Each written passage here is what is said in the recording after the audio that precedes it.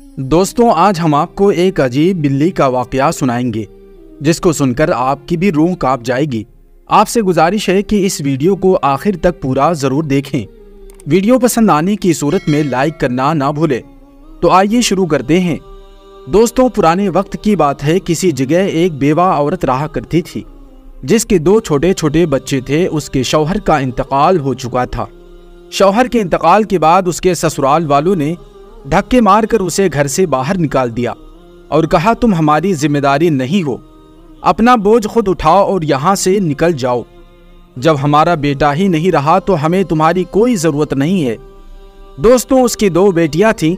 अगर बेटे होते तो ससुराल वाले ज़रूर गले लगा लेते कि ये हमारे वारिस हैं, मगर बेटियों को कबूल कहाँ किया जाता है। इसलिए उस औरत को घर से निकाल दिया गया। उसके बाद वो औरत अपने मैके चली गई यानी अपने माँ बाप के घर आ गई। उसके घर वाले भी कोई मोहब्बत करने वाले नहीं थे, बल्कि भाई के ऊपर पूरा घर था। ज़ाहिर सी बात है, जब भाई की शादी हो जाती है तो भाभीियों का राज होता है।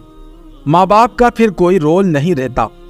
बूढ़े माँ बाप तो रोज़ाना देखते कि उनकी बेटी कितनी बेइज्जती सहन कर रही है। उसकी भाभी उसको नौकरानी बनाकर रखती थी। ये औरत हमेशा रोती रहती, लेकिन जानवरों पर रहम किया करती थी।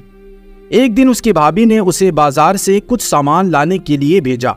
जब वो सामान लेने जा रही थी तो रास्ते में उसे एक जख्मी बिल्ली नज़र आई। उसकी एक टांग टूटी हुई थी। उसने बिल्ली को उठा लिया और वापसी में अपने घर ले आई। अपने बच्चों से कहा, देखो बेटा, ये बिल्ली मुझे मिली है, ये बहुत जख्मी है, दर्द में है, चलो हम सब इसका ख्याल रखेंगे। इसकी मरहम पट्टी करेंगे। माँ बेटियों ने मिलकर बिल्ली का बहुत ज़्यादा ख्याल रखा। उसको खाना पीना खिलाते, उसके जख्म को साफ़ करते, दवाई लगाते। यहाँ तक कि दो महीने के बाद उसकी टांग बिल्कुल सही हो गई। लेकिन उस बिल्ली को इस घर में रखना इतना आसान नहीं था। रोज भाभी ताने देती, रोज भैया डांटता कि तुम्हारी वजह से पूरे घर का माहौल खराब हो गया है। तू तो हमारे सर पर पहले ही से सवार थी, अब इस जख्मी बिल्ली को लाकर हमारे सर पर बिठा दिया है। ये हमारा हिस्सा खा जाती है हमारे हिस्से का दूध पी जाती है। तुम कब तक हमारे लिए मुसीबत बनी रहोगी? उसके बाद दिन गुजरते गए। एक दिन उसके भाई का बच्चा छत पर से नीचे गिर पड़ा। पूरी बस्ती में शोर मच गया, भाभी को मौका मिल गया। उसने फ़ौरन अपने शौहर से कहा, देखो, तुम्हारी बहन की वजह से ये सब हुआ है। ये जो बिल्ली लेकर आई है, उस बिल्ली के चक्कर में मेरा ये बच्चा छत से नीचे गिर गया है।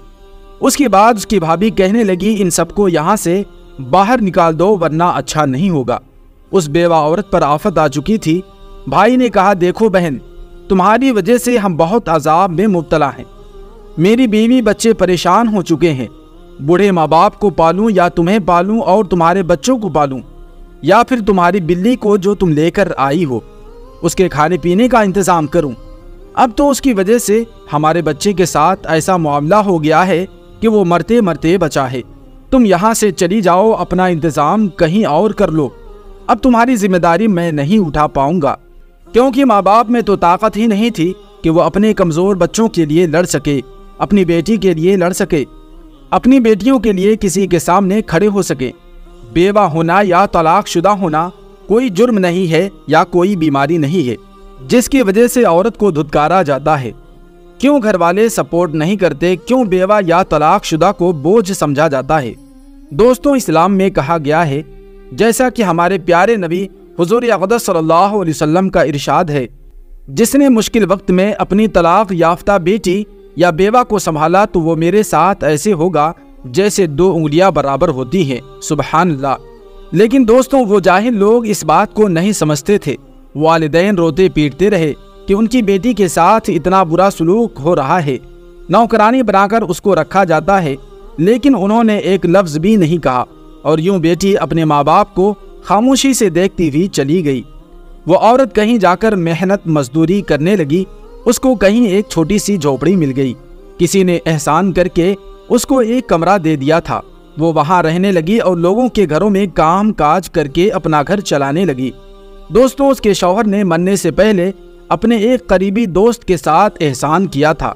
जब उसका दोस्त बहुत मुश्किल में था, सख्त परेशानी में था तो उसने उसे दस हज़ार दिनार दिए थे। और कहा था अय मेरे दोस्त, तुम ये रख लो और अपना काम चलाओ। जब उसे ये पता चला कि मेरे दोस्त का इंतकाल हो गया है तो उसने सोचा कि मेरे दोस्त ने मुश्किल के वक्त में मुझे दस हज़ार दिनार दिए थे। अब मेरा फ़र्ज़ बनता है कि मैं उसके दस हज़ार दिनार उसकी बेवा को वापस कर दूँ। ताकि वो इन मुश्किल और परेशानियों से बाहर आ सके। उसके बाद वो आदमी ससुराल आया और कहा कि मुझे बहुत अफसोस हुआ है कि मेरा दोस्त इस दुनिया से जा चुका है। मैं उस वक्त मुल्क से बाहर था, भाभी कहाँ है? मुझे उनसे कुछ बात करनी है। उन्होंने कहा, वो तो नहीं है, अपने मैके जा चुकी है। उसने मैके का पता मालूम किया और वहाँ भी पहुँच गया और कहा, क्या फुला औरत यहीं रहती है? भाई तो घर पर नहीं था, वही तेज तर्रार भाभी थी। वो कहने लगी, बस क्या बताएँ, बोझ बनकर बैठी हुई थी। अब खुद ही एक दिन कहीं चली गई। न जाने कहाँ है, हमें कोई पता नहीं। अब वो और परेशान हो गया कि उस औरत की मदद कैसे करे। जैसे ही वो घर से बाहर निकला तो वो बिल्ली घर के बाहर ही मौजूद थी। बिल्ली उस आदमी की टांगों से लिपट गई। उसने मन ही मन में कहा कि ये बिल्ली मुझे इतना प्यार क्यों कर रही है? वो समझ गया कि ये बिल्ली ज़रूर कुछ ना कुछ बताना चाहती है। बिल्ली आगे आगे चलने लगी। वो दोस्त उसके पीछे पीछे चलने लगा। यहाँ तक कि वो झोपड़ी तक पहुँच गई, जहाँ पर वो बेवा औरत रहा करती थी। आदमी ने दरवाज़ा खटखटाया, औरत ने पूछा, कौन है? आदमी ने कहा, मैं आपके शौहर का दोस्त हूँ, जो बहुत दूर से आया हूँ। बहुत ज़रूरी बात करनी है आपके शौहर के हवाले से। उस औरत ने उसे घर में बुला लिया।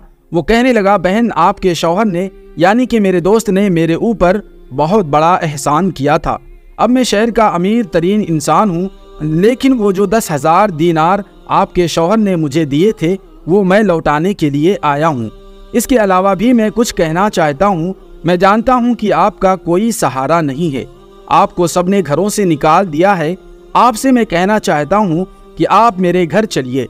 मेरे बीवी बच्चे हैं, मेरे माँ बाप हैं। आपको मैं इस दुनिया में इस तरह तनहा नहीं छोड़ सकता। आप मेरे घर चलें, मेरे घर का हिस्सा बनकर रहें। मेरे दोस्त ने मुझ पर उस वक्त एहसान किया था जब मैं गुर्बत की ज़िंदगी गुजार रहा था। आज उसी वक्त की वजह से मैं इस काबिल खड़ा हुआ हूँ। तो क्या मैं उसकी बीवी और बच्चों को मैं ऐसे ही छोड़ दूँ? अब आपको घबराने की कोई ज़रूरत नहीं है। वो बिन्नी वहाँ खड़ी ऐसा लग रहा था जैसे मुस्कुरा रही हो और कह रही हो कि तुमने मुझे एक घर दिया था तो अल्लाह ताला ने तुम्हें कैसे एक महल देकर नवाजा है। इज़्ज़त की ज़िंदगी दी है जिल्लत से बचाया है। तो प्यारे दोस्तों, आज की ये वीडियो आपको कैसी लगी, कमेंट बॉक्स में ज़रूर बताएँ। मिलते हैं एक बेहतरीन वीडियो के साथ। तब तक के लिए आप हमें इजाज़त दें। अल्लाह आप सबको अपना हिफ्ज़ अता फ़रमाए। आमीन या रब्बल आलमीन।